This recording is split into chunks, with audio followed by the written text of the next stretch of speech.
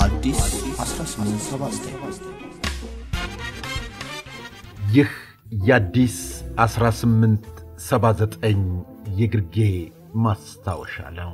ሰዓሊና ገጣሚ ገብረ ክርስቶስ ደስታ ከ1924 እስከ 1973 ዓ ም በዚች ምድር ላይ የኖረ የጥበብ ሰው ነሐሴ 21 ቀን 961 ዓ ም በጻፈው የጠፈር ባይተዋር በተሰኘው ግጥም ውስጥም መንገድ ስጡኝ ሰፊ ጉዞው ከጽንፍ አጽናፍ ፍጥነት እንደ ብርሃን ዓለማትን ልለፍ ፀሐይ ልሁን ፀሐይ እንደ ጽርሃ አርያም ሁሉንም የሚያሳይ ብሎ ጽፎ ይችን ምድር የተሰናበተ የጥበብ ሰው ነው።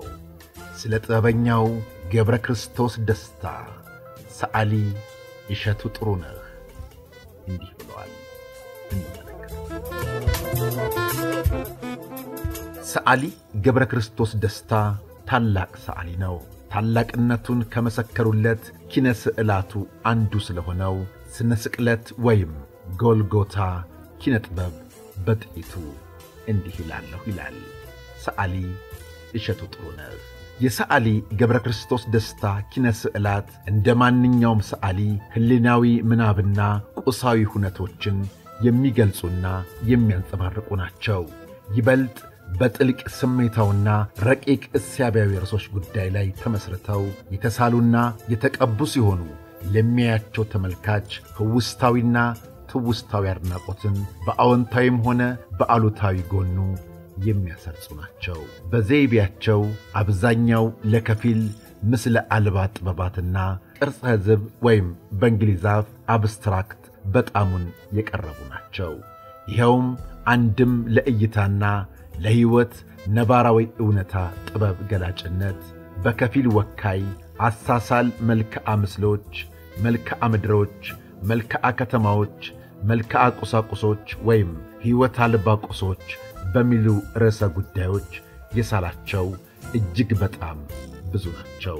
አንድም ለፍጹምና ለንዑድ ሕሊናዊ እውነታ ጥበብ ገላጭነት በከፊል ወካይና ነባራዊ ወይም በኢ ወካይና በኢ ነባራዊ እንዲሁም ለከፊል ምስለ አልባና ቅርጸ ዝብ ጥበባት ወይም አብስትራክት አሳሳል፣ ስነ ስቅለት ወይም ጎልጎታ፣ ክባዊ መስታወት፣ ሌላ ቀን፣ አበባ፣ ቁጥር አራት፣ ክራር ተጫዋቿ በሚሉ ርዕሰ ጉዳዮች የሳላቸው እንዲሁ እጅግ በጣም ብዙና ለዐይነት የሚጠቀሱ ናቸው። ስነ ስቅለት ወይም ጎልጎታ ኪነቅብ ስዕል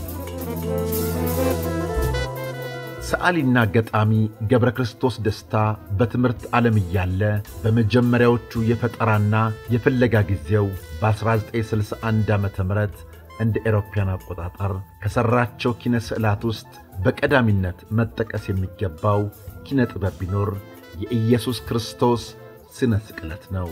ይህንን ስዕል ለምን እንደሠራው አንዳንድ መሠረታዊ ግምቶች ሊኖሩ ይችላሉ። ገብረ ክርስቶስ ደስታ የአለቃ ነገዎ ያውም ከወንዶች ልጆቻቸው መካከል በጣም የሚወዱትና የሚሳሱለት ትንሹ ወንድ ልጃቸው ነው። በኦርቶዶክስ ተዋሕዶ ሃይማኖት እምነትና ከቤተ ክርስቲያን ሥርዓት ትምህርት ጋር በወጉ እንዲያውቅ አስተምረው አሳድገውታል።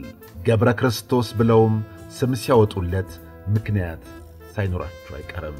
ሰዓሊና ገጣሚ ገብረ ክርስቶስ ደስታ የኢየሱስ ክርስቶስን ስነ ስቅለት ስዕልን ሲስል እንደ ማንኛውም አማኝ ክርስቲያን ብቻ አይደለም።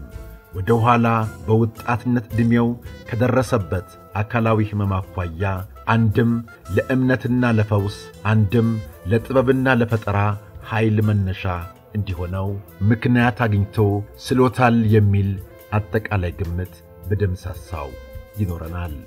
ይህ የገብረ ክርስቶስ ደስታ ስነ ስቅለት ስዕል ስዕላዊ ድርሰት ቅርጽና ይዘት በሁለት አንጻራዊ ሁኔታዎች ላይ የተቃኘ ነው። በቅርጹ ዘመናዊ ሲሆን በይዘቱ ጥንታዊ ነው። ይኸውም ስዕላዊ ይዘቱ ከሞላ ጎደል በመጽሐፍ ቅዱስ ታሪክ ላይ የተመሠረተ ነባርና ሃይማኖታዊ በመሆኑ ላለፉት ሁለት ሺህ ዓመታት በሀገራችንም ሆነ በውጭ አገር ሰዓሊያን ተደጋግሞ የተሳለ ርዕሰ ጉዳይ ነው። ይሁን እንጂ እንደ ሰዓሊ ገብረ ክርስቶስ ደስታ ለመሳሰሉ ልበ ብሩህ ሰዓሊያን ርዕሰ ጉዳዩ የፍልስፍና መገለጫቸው ጭምር ነው። በዚህ ጥበባዊ እሳቤና ግንዛቤ በሀገራችን ከተለመደው ሃይማኖታዊ ይዘት ጋር ፍልስፍናዊ ይዘትን አካቶ በዘመናዊ አቀራረብ ለፍጹምና ለንዑድ ሕሊናዊ እውነታ ጥበብ ገላጭነት የሳለ ቢኖር ሰዓሊ ገብረ ክርስቶስ ደስታ ብቻ እንደሆነ እሙን ነው። ኪነቅቡ በቅርጻዊ አቀራረቡ ሲታይ በጥቁርና ግራጫ ቀለማት አምዳዊና አግድማዊ ወይም መስቀልያ በተሰማሩ ወፍራምና ቀጭን መስመሮች የተሞላ ነው። በመሆኑም መስመሮቹ የተመልካችን ዐይን በሰሌዳው ሙሉ ያለ ረፍት እንዲሮጥ ያደርጉታል። በደጀንነት ተጋድመው በመኖራቸውም ጥልቀትን በሰሌዳው ላይ ከመፍጠራቸውም በላይ በወርቃማና ብርማ የብርሃን ድባብ መለኮታዊ ትዕይንት በደጀንነት ከስተዋል።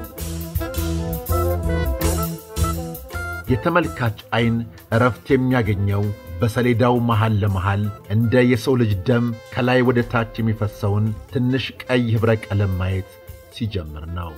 ይህ ብቸኛ የቀይ ኅብረ ቀለም መስቀልያ አቀባብና አቀማመጥ ስዕላዊ ድርሰቱን አተኩረን እንድናይ ይበልጥ ይጋብዘናል። የሰዓሊና ገጣሚ ገብረ ክርስቶስ ደስታ ጎልጎታ ወይም ስነ ስቅለት ኪነቅብን በእንድምታ ቃላዊ ትርጓሜ ስዕላዊ ይዘቱን ስንተረጉመው በይዘቱ ፍጹም ንዑዳዊ እውነታዎችንና ተምሳሌትን የያዘና የሚያንጸባርቅ ነው። መስቀሉ እውነታዊ ነው። የተሰቀለው ክርስቶስ ግን ተምሳሌታዊ ሰዓሊው በጠቢብነቱ የመሥዋዕትነትን፣ የቤዛነትን፣ የሕያዊነትንና የዘላለማዊነትን እንዲሁም የነጻነትን፣ የሰላምንና የፍቅርን ምንነትን ባጭሩ በኅብረ ቀለማት የቃኘበትና የተቃኘበት ስዕላዊ ቅኔው ነው።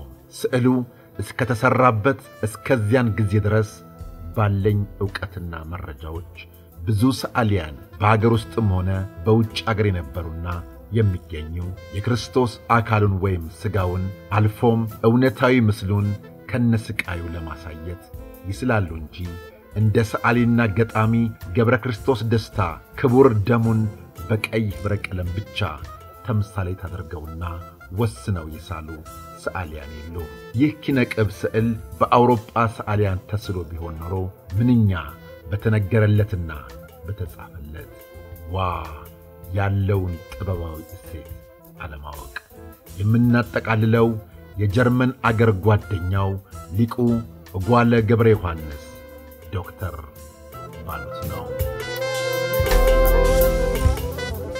ሰዓሊ ተብሎ የጎለጎታን ተራራ ያልወጣው ትልቁን ትራጀዲ ያሳየ የለም። ግን የገብረ ክርስቶስ ስነ ስቅለት ለብቻው ነው። ቀለም ተናጋሪ ነው። የሚታየው ንጹሑ ብቻ ነው። ግራና ቀኝ የነበሩት ፊያት ቦታ የላቸውም፣ ተዘንግተዋል። ወይም ሰዓሊው ሊያያቸው አልፈለገም። ይገርማል።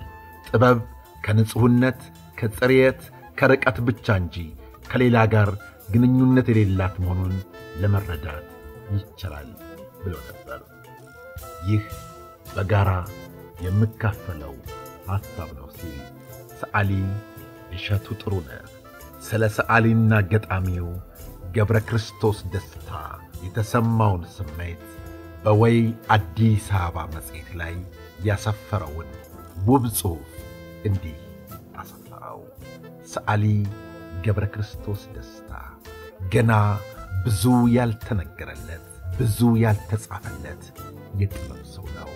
ሰዓሊ እሸቱ ጥሩነህ እንዳለው የገብረ ክርስቶስ ደስታ ስዕሎች የውጭ ሀገር ሰዓሊ ሆኖ ቢሆን ኖሮ ያላቸው ክብር፣ ያላቸው ግዝፈት፣ ያላቸው አድናቆት የተለየ ነው።